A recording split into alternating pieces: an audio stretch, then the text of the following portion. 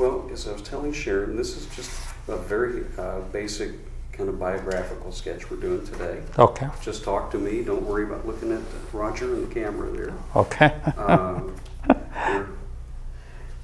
okay, rolling? All right. I shouldn't even say rolling anymore. It's all going, these are all chip cameras now. oh, is that right? yeah. Um, well, first of all, thanks again for doing this. Um, let's begin kind of at the beginning. When, when did you first come to uh, Champaign Urbana area? Uh, you were very young, I believe 16. Uh, yeah, Jack. Uh, I came in January '67, so uh, right to Champaign, and you know, I was welcome to America. I think they had the largest uh, snowfall a couple of days before I got here. I think 27 inches. So, and I'd never seen snow, obviously, coming from Pakistan. So, it was uh, it was fascinating experience, obviously. What drew you here? Um, you know, I'd heard the streets were paved with gold, and the women were easy. And you know, I found out one out of those two is true. The streets are paved with gold. So, When did you first start working at, uh, at Flex-N-Gate? um, I started in August of '70. Yeah, and right here, where we are, and you know, I've loved this place. Obviously, we're sitting here in a Quonset hut, which goes back uh, to 1945, and uh, just started here in August and did a lot of stuff uh, working on the shop floor and uh, um, engineering design. Uh, then we went through a transition, um, got sold to a New York Stock Exchange company, worked for them, and then I left in '78. Uh, And when did you when did you attend U of I? uh, from 67 to 70, 71, I finished my undergrad and then I did graduate school in mechanical engineering. Really a course at a time, more to learn, quite frankly, than to get a degree. So, How did that help lay the foundation for the career you've built since then? uh, I think it's frankly fundamental. It's just about everything. Uh, uh, you, uh, the basics I learned. I mean, one thing in engineering school, it's still true today. Uh, certainly at a school like Illinois, I mean, you're learning principles. You're not learning the practices. So, uh, being in the area, being able to use the library, being able to talk to the people, it was, uh, um, you know, basically uh, a great resource just to be here. You know.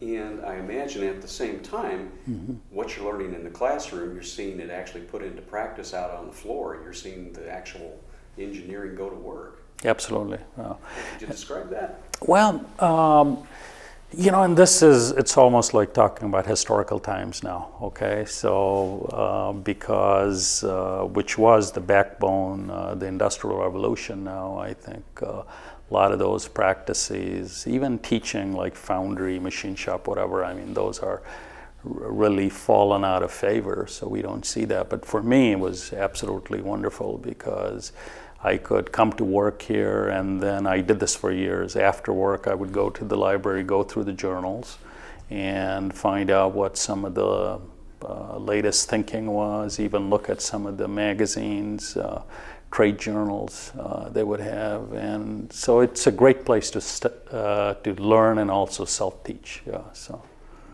What was Flex-N-Gate building when you came here? Um, What was it? this was really a blacksmith shop, and it started off as um, uh, basically a farmer who, in the winters, when uh, you couldn't work out in the fields, uh, outfit some trucks and then customize uh, pickup trucks. You got to remember, I mean, in the 1970s, pickup trucks were work uh, uh, work vehicles. They weren't uh, for weekend cowboys, so to speak. So um, it's uh, so outfitting, customizing. There probably weren't two trucks that were fitted quite the same way. Measuring and uh, basically customizing.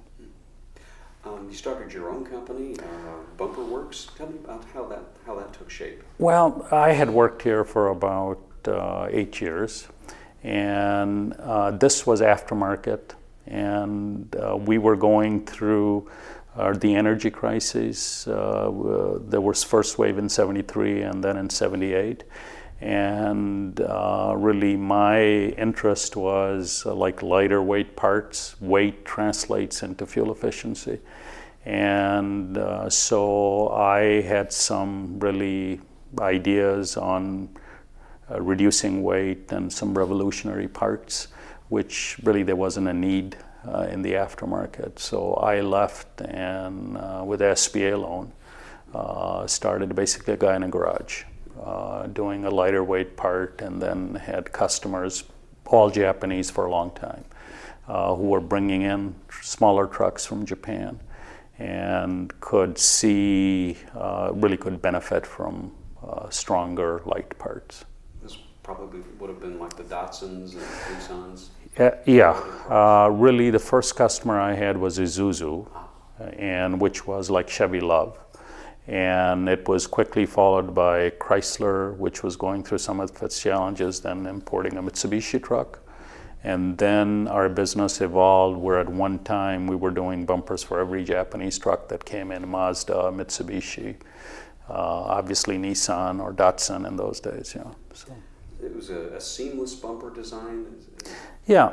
Uh, drawn as a, I think I'm, I hope I'm using the right terminology for yeah, it. absolutely. Yeah. Uh, in those days, uh, you know, you fabricated a part from half a dozen different pieces of steel. You weld them, ground them, and uh, uh, this was uh, out of one continuous piece of metal. and so the shapes were better, more aerodynamic, but more importantly, didn't have the labor, some of the corrosion issues. Yeah, so. Um, you came back and you bought Flex-N-Gate not too much longer, or not too not too long after that. Yeah, so I came back in a couple of years. Uh, this was then part of uh, Scott and Fetzer, which was a New York Stock Exchange company, and it really got sold to Warren Buffett of all people. Uh, very small part, obviously, and they wanted to divest themselves of really this area. So, and we needed capacity, so I was able to come back and buy them. How big was the factory in those days? Uh, I think um, in 1980, when I came back, they were doing about three million a year, yeah, in sales. So I mean, very small. Yeah, I think about 30, 40 people. Yeah. How did the how did the product line start to diversify? You you moved from bumpers into everything from chassis to plastic interiors to trim. Uh, just about everything that goes into the car industry. Yeah, uh, Jack. I mean, for us, really, um, you know, it was uh, focus. We had one product line in those days, which was just bumpers, and we wanted to be the best at it. Um, there was really, uh, you know, I used to keep a list of like 18 competitors in my briefcase all the time. See, you know, you get up in the morning, you see what each one of them might be doing that day. And uh, it's interesting, you know, every one of them uh, got out of business. Either it was sold or consolidated or bankrupt or whatever. So, um, and then, you know, we thought we were doing real well because you could pick up that business. But then, uh, uh, this is about evolution, about automotive uh, revolution. So our product line, which was steel, uh, changed to plastic. And really, uh, there is nothing in common other than there might be bumper systems. So we had to really evolve very quickly or we weren't going to have any business. Um, you started uh, supplying bumpers to the big three automakers in 1984. Yeah, about there uh, really after that, and then you know it takes a while to get traction. This is uh, really this is a very evolutionary business, very conservative business. So uh, you have to prove yourself, and then uh, you're able to uh, you know obviously reap the rewards later on. So. Um, but uh, about that same time, we went through, this would be like uh, early 90s. Uh, Toyota was really our key customer in those days, and they were looking as to what it takes, uh, what made them successful in Japan, what would make them successful overseas. And we became the first company outside Japan that got help from them on lean thinking and lean manufacturing. So that was really a foundation, a core uh, principle, um, the core uh, competency that you know we acquired. Remember when Mitsubishi started in, in Normal a few years Mhm. ago. How Yeah. we, we did a tour of it with, uh, I was with the Illinois News Broadcasters Association then, and they were talking about a concept that was then new to the American car industry, Mhm. which was you, you, you bring the stuff in only as it's needed. Yeah. And there's not this big backlog of stock parts laying around. Yeah. It, it, and that's what they call lead manufacturing. Yeah, lean manufacturing, just in time. Basically, the whole thinking is, uh, you know, it's pull the customer demand, pulls the product versus uh, manufacturing efficiencies that might push the product. Yeah, so. How did how did your company evolve along with that with that principle? Well, it's um, obviously it's the right principle. Uh, you have to evolve if you're going to be competitive, cost-wise, quality-wise. You have to adopt those latest uh, uh, technologies, latest thinking, or you know you're going to be obsolete. So Coming into the industry from, as you say, when this was basically kind of a blacksmith shop when you started, you you've seen revolutions in the way that things are done, things are designed with computer-assisted design, and now with manufacturing. How has that changed? How has the business evolved over the last forty years that you've been involved in? yeah, there's very little. Obviously, that's similar. Uh, frankly, I think. Uh, uh, time is uh, vital. I mean, you have to be very quick. Um, there's huge amount of engagement you don't have uh, by everybody, whether it's uh, a person on the shop floor or uh, somebody designing. There's a huge amount of continuity, flexibility, agility is what you need, and uh, and open thinking. I mean, customers are changing, product are changing, and if you, you have to be able to roll with the punches very quickly. So. And the consumer's getting pretty demanding. Too. Yeah, very demanding. because the cost of cars and trucks is such now that it's a major investment that you want to get the most out of your money. Yeah, absolutely. And it's uh, well, it's second largest uh, investment I think after a house person's gonna, uh, you know, average person is going to spend. But I think if you look at it, by far the cars are more durable and trucks than they've ever been. Uh, downside of that is the oldest fleet on the road today in the history since invention of the automobile is right now. Average car is about 10 years old. Uh, it's because, and you know, if you think about it, it's when is the last time you saw a car the uh, you know, floorboard was rusted out or fenders were rusted out. You don't see that. Uh, in the winter, obviously, your cars start. Um, you take a lot more for granted. So the quality, the durability, um, and the emotional appeal has to be there. Uh, I think we see some of the more traditional Japanese who did very well. I mean, you know, talking to a, a lover here, um, they are losing some of the appeal because they don't have uh, the emotional appeal, the design, uh, and uh, some of the essence, really, some of the creature comforts. So there's a renaissance, obviously, for the Koreans and uh, the Americans right now to be able to take advantage of those gaps. So you, that's a great example. Some of the best-selling cars of yesteryear today don't do that well today. So How did the company grow to an international, uh, to, to, to, a pro, to a, a company that's in Mexico, in Spain, South America, Canada? yeah, um, for us it was that. Um, you know, you, in this business, if you are standing still, you're falling behind. You so you have to evolve. You have to grow, and uh, really, it's a key learning for me that uh, uh, it doesn't matter what the economy is or how many vehicles are being sold. As a company, you have to grow. It challenges the people, and more importantly, I mean, you uh, create a DNA structure which is always evolving for the better. So um, we can, uh, you know, when you end up with a very high uh, penetration of the product line you have, then you have to grow outside that. So for us, we had to kind of leave the comfort or the security area of central Illinois, central Indiana, and move beyond that. Uh, be able to find uh, not only product line facilities and also really people, talent, uh, which uh, could mesh in with some of our core principles. You, you started to touch upon some of those. What, what is what is your business philosophy? What are the values that this company represents, not only to its customers but to the people who work here? Yeah.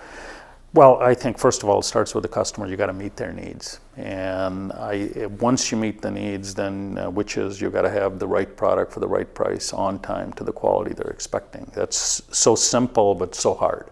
Um, once you go beyond that, you got to have the right people, and um, I mean our evolution that you know till 1990, uh, you know we were about a 15 million dollar a year company and then uh, the next uh, 10 years, we became maybe about 150 to 200 million, had about a tenfold increase, and now we're over 3 billion a year. So this is with the ups and downs uh, of the marketplace. I mean, we've been able to sustain it. So I mean, the core principle is you got to find the right people, uh, and they have to have the right resources. They have to be treated uh, properly where they can contribute in a meaningful way. So it's about making money, but it's also really changing people's lives.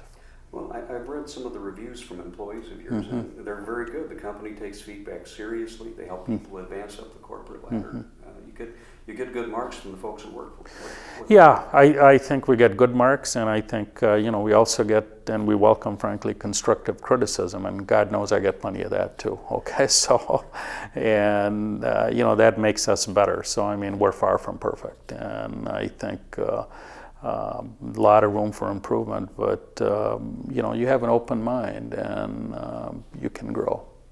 And doing a little digging into mm-hmm. Uh, into the company, uh, you have a set of social principles that you, you live by. You have environmental principles. Mm-hmm.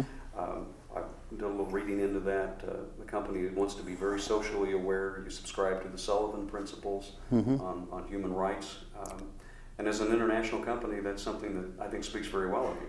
Yeah, I think you have to do that, and um, you want to be part of the community.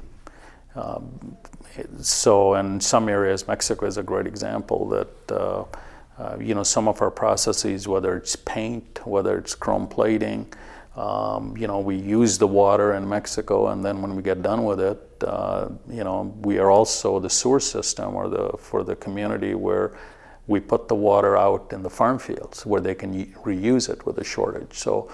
Um, it's uh, you have to be very very aware of and uh, go much really beyond what the limits might be on environmentally. So uh, some of the communities, I mean, the resources we're using are very precious to them.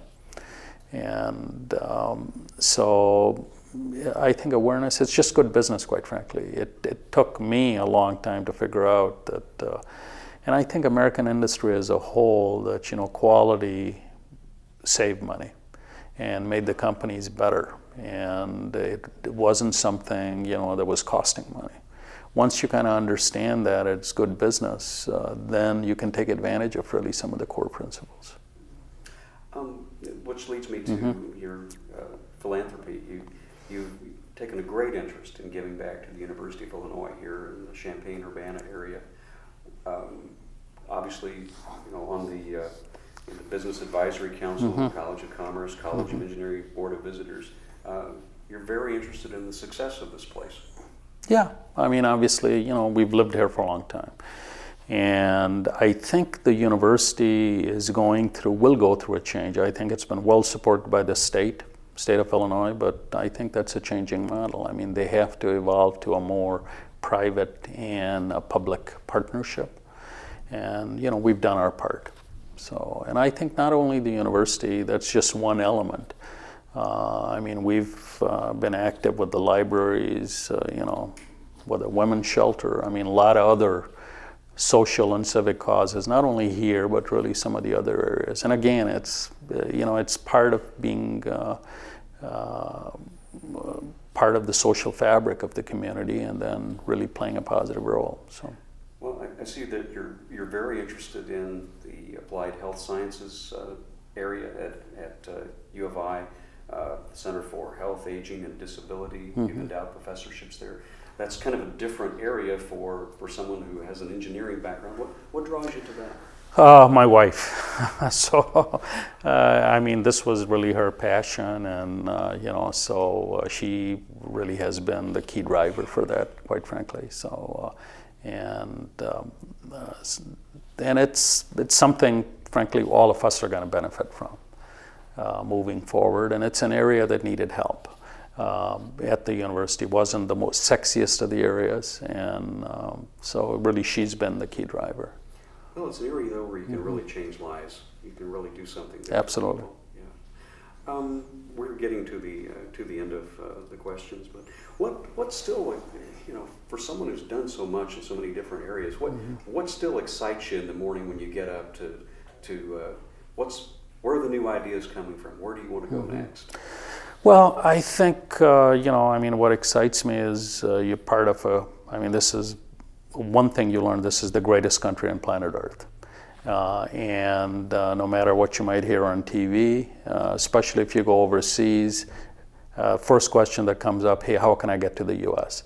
So. Um, it is, um, uh, you know, I, it absolutely is a very, very, you know, exciting uh, time, certainly for us and um, um, you know the automobile. I mean, I've loved cars uh, ever since I can remember, and I mean, just to be part of that is really fascinating.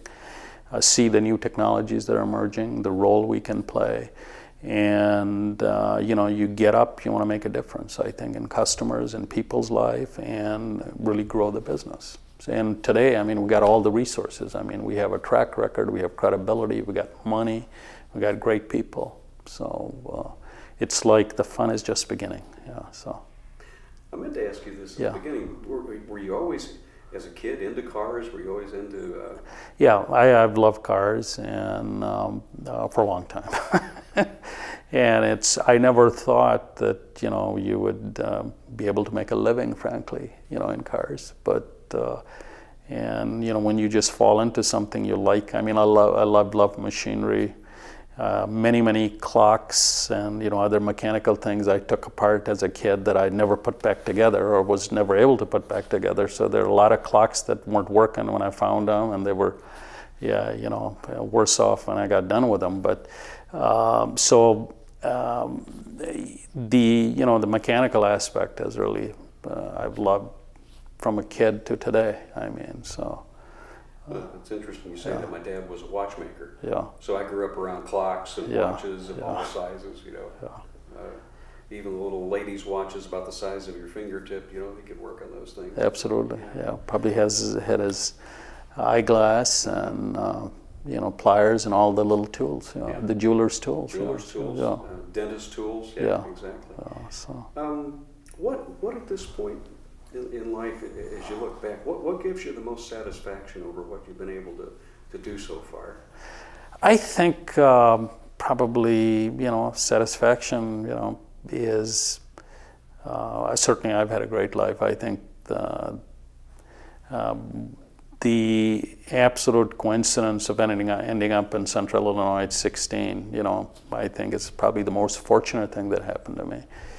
But I think beyond that, being able to make a difference in people's lives, you know, as you find the resources and uh, to be able to, uh, you know, obviously have great family and, um, you know, not really um, get burdened with, uh, you know, some of the daily headaches, frankly.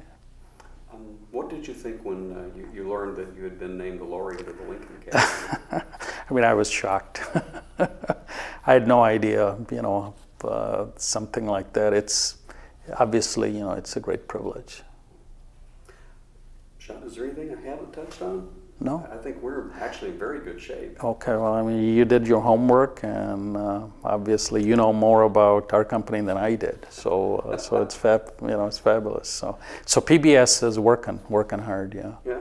Well, we're, we're trying. We're Yeah. trying. It's uh, this is a this is a this is a fun program. Do. Yeah. I mean, we've been everywhere from like the Argonne National Laboratory, Yeah.